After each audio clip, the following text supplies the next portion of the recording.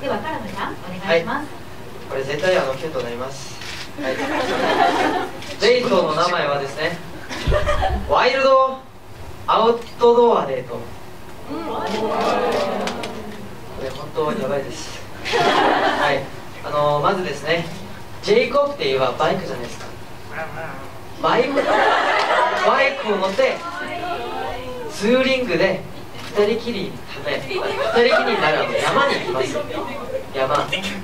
もうもう今からもうロマンチックになりましたよねであのあとあのキャンプ場に行きますもちろんあのキャンプはこのジェイコップが全部作りますよ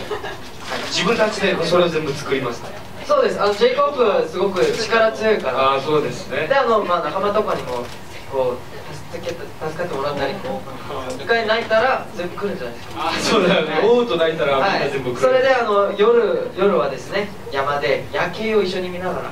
こうロマンチックな話をしながらあの